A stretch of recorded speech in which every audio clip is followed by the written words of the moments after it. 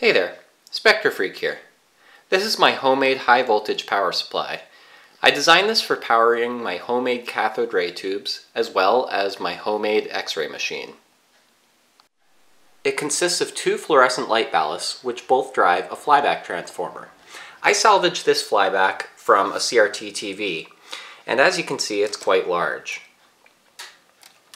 All of the pins on the bottom are potted in RTV silicone to prevent arcing to the transformer itself. The primary coil of the transformer is driven directly by the fluorescent light ballasts.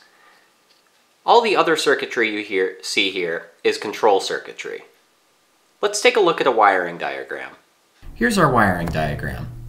I'm going to ignore all of the indicator circuitry for now, just for the sake of simplicity. Live and neutral come in and they power this 5 volt switch mode power supply.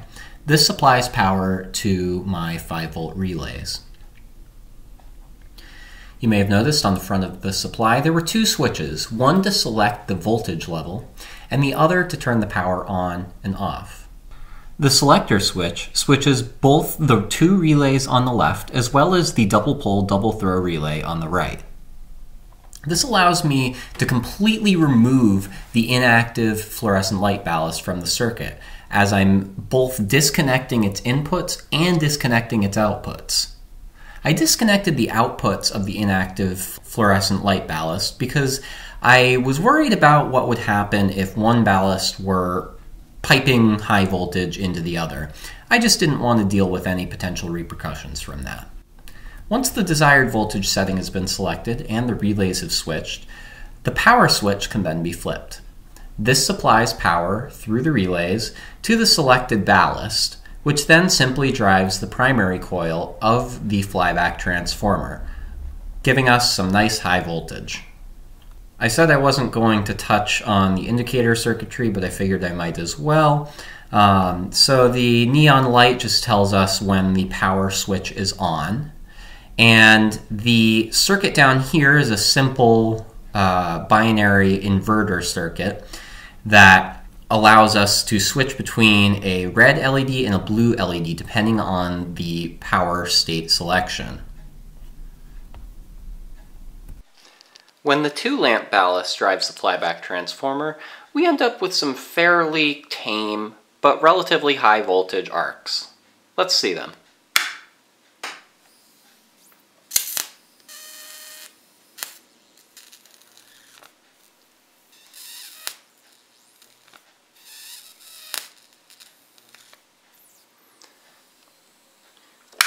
You can see that the striking distance is less than a centimeter, so these are probably putting out about somewhere in the 10,000 volt range. I've attempted to measure it, but it's pretty difficult, as some of you may know, to measure high voltages such as these with a digital multimeter.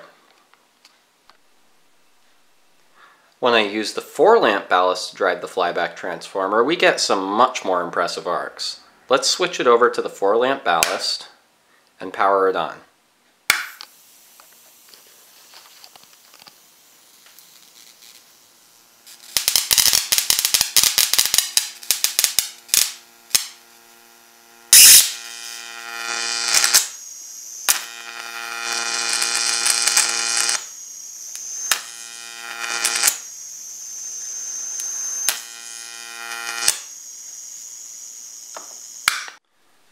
The striking distance is closer to an inch for this configuration, so the voltage is somewhere in the 40,000 volt range.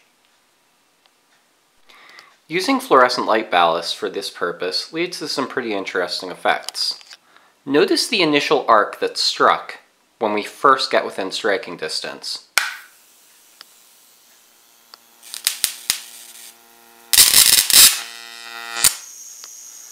See that screaming blue arc?